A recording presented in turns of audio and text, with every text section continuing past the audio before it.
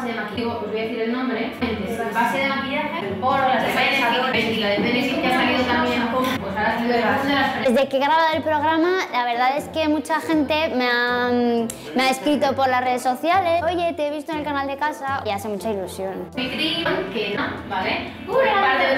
Es una mini tienda, como digo yo, le he llamado Just Fucking Cool, que es pues pequeñas cosas que yo hacía para mí, que las llevaba y todos me decían, oye, ¿dónde las comprado? Y digo, lo he hecho yo, lo he hecho yo. Y la gente, venga, hazlo para vender. Pendientes de pompones, cosas peluditas, ahora de cara al invierno, bolsitos como de peluche, diademas, cosas que, que van mucho con mi personalidad. Para todos los que tenemos ese universo arcoiris, está just fucking cool.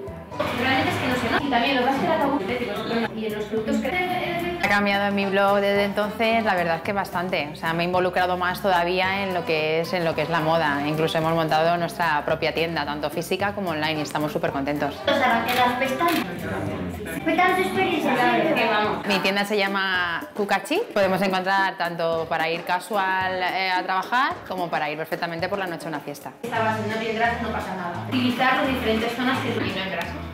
Todas las bases son libres de Me gusta mucho la moda, soy periodista y la televisión y dije, pues, pues ¿por qué no lo voy a hacer? Como ahora lo, lo recuerdo con nostalgia, tampoco cambiaría mucho, pero si tuviera que cambiar, pues a lo mejor, al igual que ha pasado mucho tiempo, también han cambiado un poco mis gustos, sí que hay otra ruta de tiendas y a lo mejor sí que los estilismos, que se los probaba una modelo, me los hubiera probado yo, pero porque al final es un poco más genuino, es más mi blog, que yo soy diseñadora street style y hubiera cambiado eso, pero el resto, el resto nada más.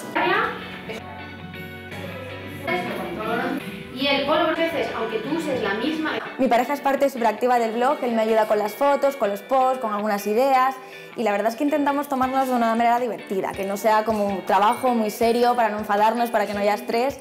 Queremos que todo sea divertido, hacerlo cuando nos apetece en la medida de lo posible, pero sí, la verdad es que sin su ayuda no podría hacer el blog. A ver si se anima a hacer una sección de moda masculina, porque además también me parece que ahí hay un vacío, hay muy pocos chicos que tengan blog. Entonces le estoy convenciendo para ir poco a poco sacando sus looks y luego aparte me encanta sacar sus ilustraciones que sé que a mi público le encantan y pues una manera más original de hacer el blog mezclando un poco moda masculina, femenina, ilustración. a su... A su... Bajo B nos sugieren que os Mis compañeros de trabajo, que bueno, sabéis que no tiene nada que ver mi trabajo con el mundo de la moda, pues sí que lo saben, lo saben desde el principio, ya me tenían fichada en Google y tal. Y la verdad que, mm, que les hace muchísima gracia porque como son dos mundos totalmente distintos, me ven y dicen, mira, la ingeniera bloguera que ya viene por aquí, además es, es un trabajo de oficina, va todo el mundo con su traje y tal, y yo aparezco con mis pintas de blogger, con, con prendas de tendencia y tal, la verdad que es algo que hace muchísima gracia.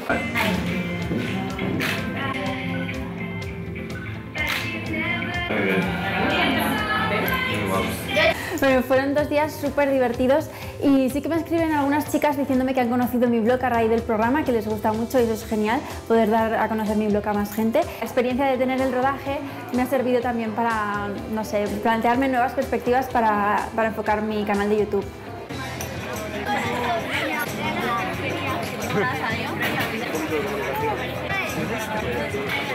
Bueno, la mayoría de ellas muchas veces se me contratan por, por ser quien soy, porque han visto mi trayectoria, porque se identifican con mi estilo y porque les transmito confianza o su estilo, tanto sus gustos como sus intereses, se asemejan un poco a los míos. Entonces es como un punto a favor y como ellas ya creen que me conocen de toda la vida, se establece una relación bastante cordial y bastante amable entre, entre ambas, ya no solo la novia, sino también todo el resto de su familia. Yo creo que es eh, sucede más con los eventos de, de empresas cuando mm, ellos te llaman porque han visto la información en la web para organizar un evento y luego descubren que tú eres Rebeca Lavara, la que tiene un blog de moda. ¿no? Entonces yo creo que en, en ese caso sí que les choca un poquito más, pero mientras tú hagas tu trabajo correctamente y cumplas con sus expectativas no hay, no hay ningún tipo de problema.